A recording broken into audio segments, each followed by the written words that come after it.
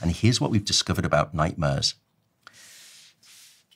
short sleep duration, not getting enough sleep, sleeping less than six hours, predicts by about 100 to 150% higher percentage chance of you having suicidal thoughts, attempting suicide, or tragically, suicide completion. That's bad sleep. It turns out that nightmares, so if short sleep has a 150% higher likelihood of suicidality, having nightmares has an 800% higher likelihood of suicidal tendencies associated with it. Now, we don't think that nightmares are causing suicidal tendencies.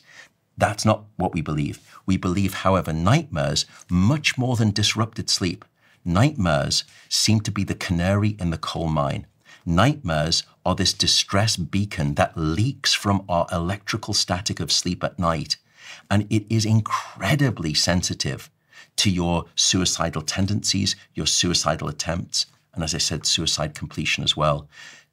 Nightmares are a biomarker. If you are having distressing nightmares that are waking you up, you need to go and speak to someone about it. It's absolutely paramount because there are good, effective ways that you can dissipate those nightmares.